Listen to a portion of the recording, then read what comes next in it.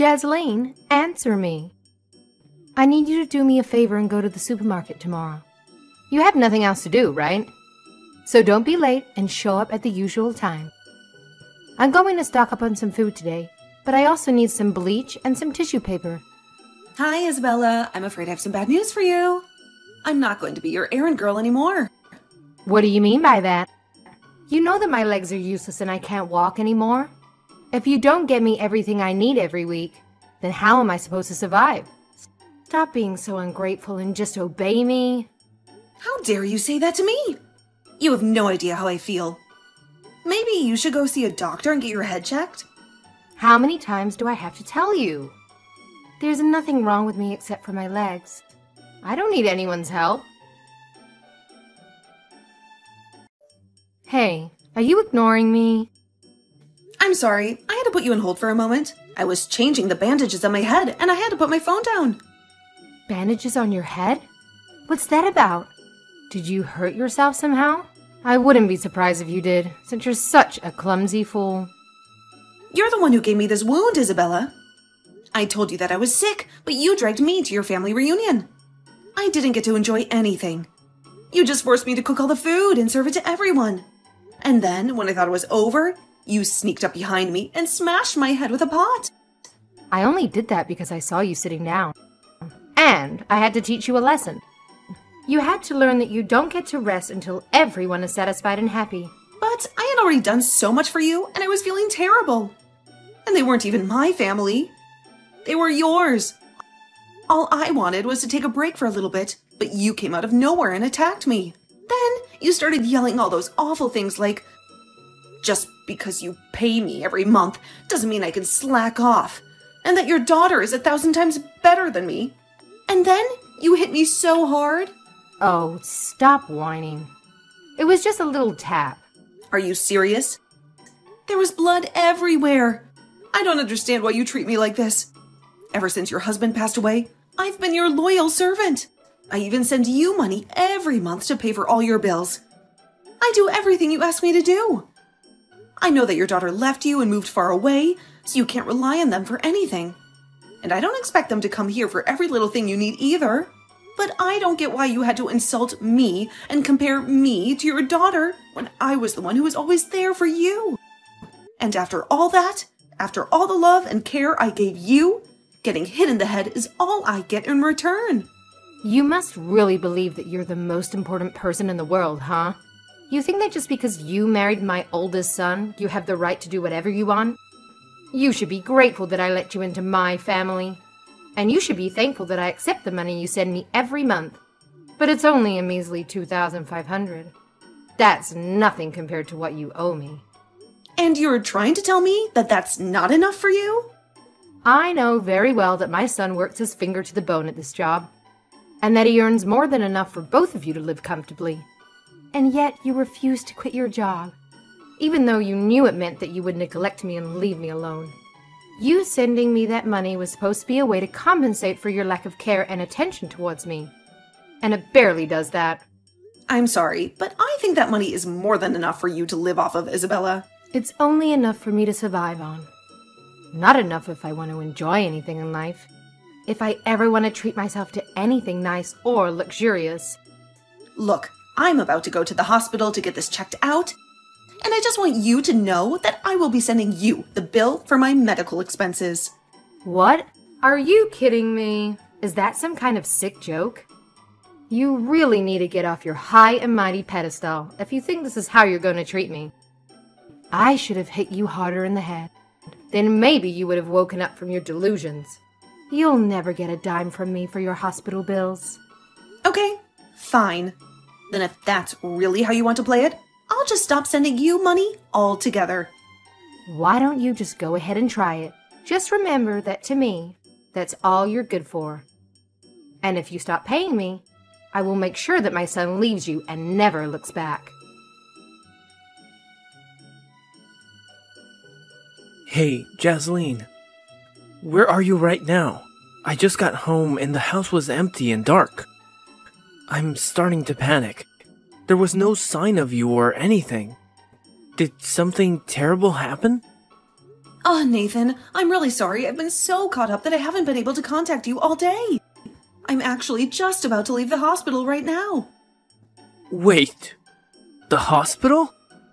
What were you doing there? Did you get injured? Well, your mom hit me in the head with a cooking pot, and she hit me right where the edge of the pot was. So I was bleeding from the wound a lot, and I had to go get checked out. Thankfully, the doctor said that it wasn't as bad as it looked, and there's no brain damage or anything. Yeah, I'm sorry. Did you say that my mom hit you in the head with a cooking pot? Why were you even with my mom in the first place? I thought you said that you were feeling sick and that you weren't going to go to my mom's family party thing. You even told me that she said that she didn't mind if you didn't go.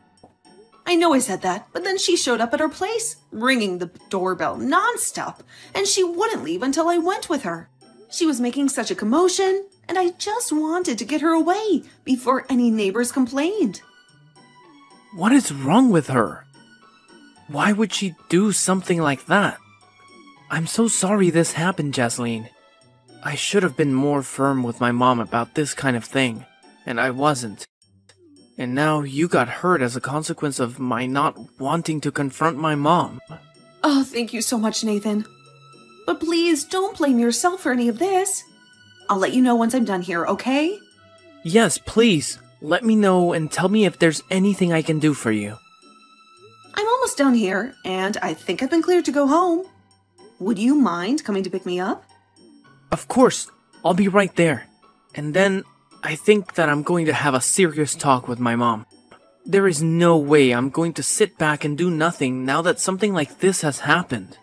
I really don't think you need to do that, Nathan. What do you mean you don't want me to talk to my mom about this? No, it's not that. I just really don't think that your mom is going to listen to anything we try and say to her. Besides, there's something else. Something else? What do you mean by that? I mean that today, while I was at the hospital, I found out that I'm pregnant. Wait, really? Are you serious? Yeah, they did a full body examination on me and finally used the sonogram and found out. That's why it took me so long to get checked out. But now I'm so grateful that at least I didn't fall in the ground after your mom hit me. Things could have turned out much, much worse. Especially for this baby I have inside of me. But anyway, for the time being, I really just don't want to see your mom at all. I don't know if she's going to try to hurt me again. I understand that, but I don't think that we can just cut off my mom like it's nothing. If anything, trying to do so might just make her more angry. So, you're still not quite ready to stop talking to your mom completely then? Even after this? I know what you're probably thinking about me. Even I'm wondering if this wouldn't have happened if I did something like that sooner. No, I understand it's asking a lot of you to stop talking to your mom, but I have another idea if you'd like to listen to it. Hey, Jasleen. Just what the heck is going on here, huh? I thought I told you to go out and do my shopping yesterday. Why isn't it done? Good morning, Isabella. I wasn't able to do your shopping yesterday because, as I told you, I was in the hospital. They kept me there late because they wanted to make sure I didn't have any permanent brain damage. I knew I didn't hit you hard enough. If I did, you wouldn't still be making excuses about why you don't want to help out your poor mother in law. But at this rate, I'm going to starve. Is that what you want? Honestly, I don't think it would really bother me if you did. Excuse me? What did you just say? How dare you say something like that to a poor old woman like me? You're nothing but a rotten, mean person. Listen, Isabella, I'm not trying to be rude here, but you do have a daughter of your own. In fact, she was there at your little family get together yesterday. So much of your family was. And yet I was the one who did all of the cooking and serving. Why didn't you ask anyone else for help? Because they were all my guests, and I was hosting them, of course. I understand that, but everyone there was family, and I don't get why it would have been so bad to ask for help. Instead, you just put all the work on me and then went to socialize. In fact, not only did I have to cook dinner and serve everyone, but your daughter even gave me her child to look after. And just what's wrong with that, huh? Don't you realize how busy she is raising her kids all the time? The least you could have done was take her kids off her hands for a while and give her a break. I can't believe that all you ever do is complain. Do you enjoy being the way you are?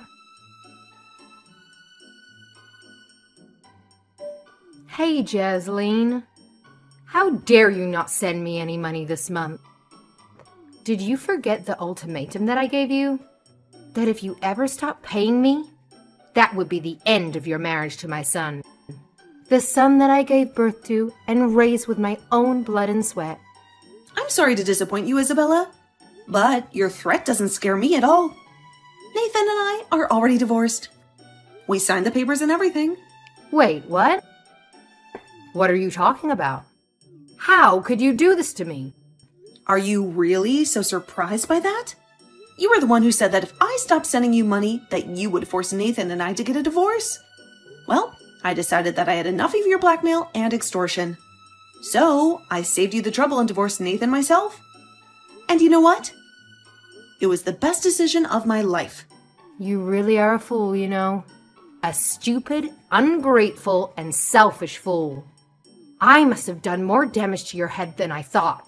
But now that you've left Nathan, you do realize that you have ruined your life, right? That no one will ever want to marry you ever again, right? I mean, who would want to marry a woman who couldn't even keep her first husband? A woman who betrayed the only family that ever cared for her. You are going to spend the rest of your life alone and miserable. But I'll be kind and spare you that fate.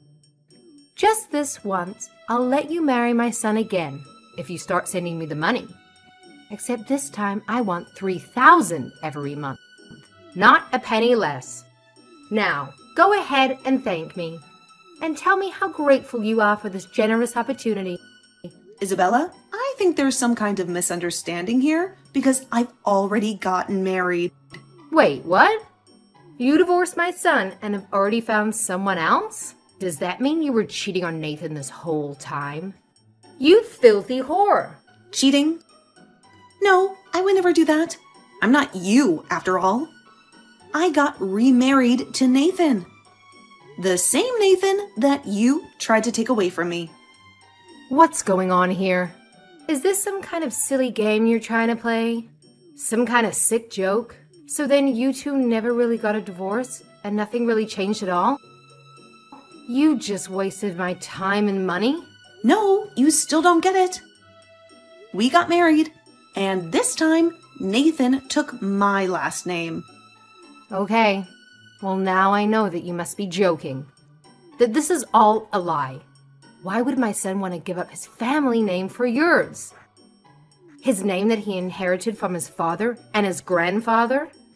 Well, that would be because Nathan never wants to speak with you ever again. He hates you and everything you stand for. He wants nothing to do with you or your family. That's a lie, too. My Nathan would never say something like that. He loves and respects me. He knows his duty and his place. Where is Nathan? I want to talk to him. You have got some explaining to do, young man. What's this nonsense I hear about you taking your wife's last name? Please tell me you didn't really do that. That you didn't betray me and your ancestors. It's no mistake at all.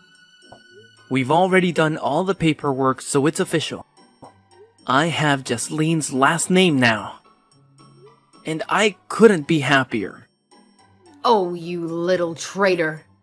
You ungrateful, disobedient, and dishonorable traitor. How could you do this to me and to your family? Well, go and reverse it right now, or do all the years I spent raising you just mean nothing? Do you have any idea how much I sacrificed for you? How much I loved you? I know that you worked hard to raise me, Mom, and I'm thankful for all that you've done. But at the end of the day, you are my mom. And that was your job. I don't think I'm obligated to do anything back for you. Especially not something that goes against my happiness and my freedom. Besides, you were the one who cheated on dad and got remarried to that awful man. That man who treated you like dirt and treated me like a stranger. Not only that, but you too quickly started treating my sister like she was your only child. And I felt like I had no place at home. No place where I belonged. Are you really speaking ill of the dead right now?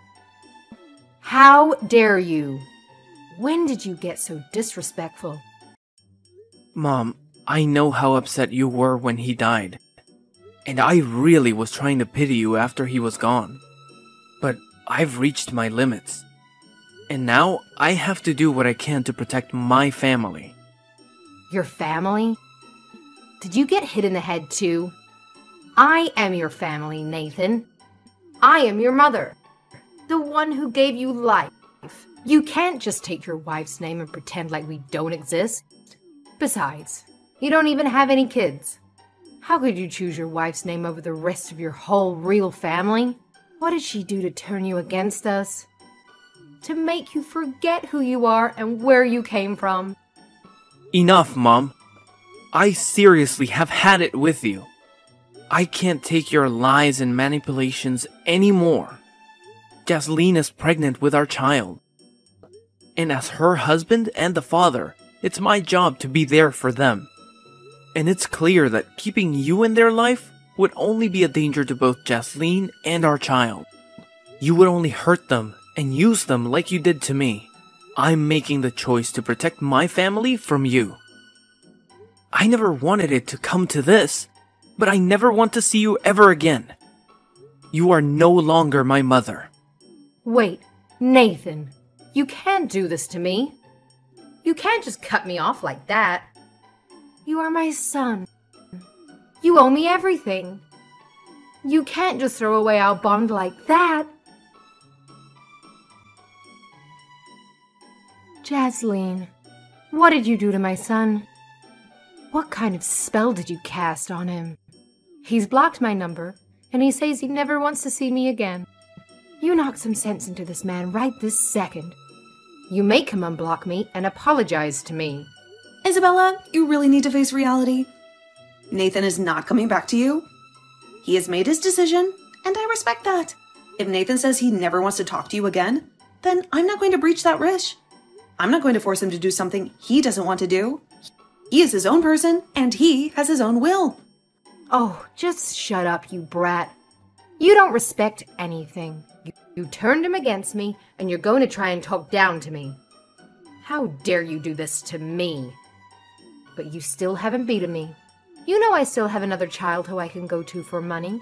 And you really think that your daughter is going to try to do that for you? You're welcome to try, but I don't think it's going to go the way you think. I don't think she will be as naive and gullible as I was. And just why is that, huh? What makes you think you know anything about my daughter? What makes you think you have any right to talk about her? Well, because I've already heard. You've been spending all your money on giglios and hiring handsome men to go out with you. In fact, I've heard you sunk so much money into doing that that you're quite a bit in debt now. You owe thousands of dollars to some shady people, and they are not very happy with you. They're coming after you, and they won't stop until they get their money back. Wait a second. How did you hear about all of that? Who told you? Oh, don't you worry about that. You'll find out soon enough. But judging from your reaction, I take it that all of that is true. So, do you really think that your daughter is going to help you out of this mess you made for yourself? I can't see it happening. After all, she already has three kids of her own. Three kids who need her attention and her money. I seriously doubt she would be able to afford to send you the kind of money that you'd be hoping for. But Nathan and I aren't giving you anything anymore either. You'll just have to learn how to make do with your savings and retirement money. If you have any left, that is. Wait, so then Nathan knows about all of this too? He knows about my lifestyle and the debt I'm in? That's right. He knows everything. Your bad habit and the debt that has gotten you in, the men you've been seeing and the money you've been wasting, the lies you've been telling and the fraud you've been committing. He knows the truth about it and he hates you for it. Well, if you both knew how much money I owe, then you have to help me. You can't just leave me to die. I won't be able to live if you don't keep sending me money. I'm afraid that you and I have nothing to do with each other anymore. You are not my mother in law. You'll have to figure this out for yourself. Face the consequences of your actions. This isn't a game. How could you do this to me? Isabella, I've already reported what you did to me to the police. And you're going to be arrested for assault and fraud. Fraud? Are you kidding me? That isn't fair. You're just accusing me of false crimes now. How could you get me in trouble? Are you just trying to get revenge on me? But you are guilty of fraud. This whole time, you've led me to think that you could barely get yourself around. But you had your knees replaced a couple of years ago, and you've had no health problems since then. You've been walking and running and dancing just fine. And you've given me nothing but pain and misery and hate. Well, no more. It's over. Enjoy jail. After that, Isabella was arrested and taken away in handcuffs. She screamed and cried and begged for mercy, but it was too late. Nathan watched her being dragged away by the police, and he felt nothing but relief and disgust. He agreed to never speak to her ever again. He wanted to erase her from his memory and his life. I suppose it's only natural that a woman who cheated on her husband would turn to paying men to shower her with attention. But I later heard from Nathan that even his sister cut their mom off. And that Isabella was truly left with no one she could turn to for help. She had burned all her bridges and lost all her friends. I hear she had to take a couple of part time jobs just to keep up with the interest payments on her debt. She had to work long hours and endure hard labor. She also had to live in a tiny apartment and eat cheap food. Meanwhile, Nathan and I have been enjoying the quiet married life and are eagerly expecting the birth of our first child.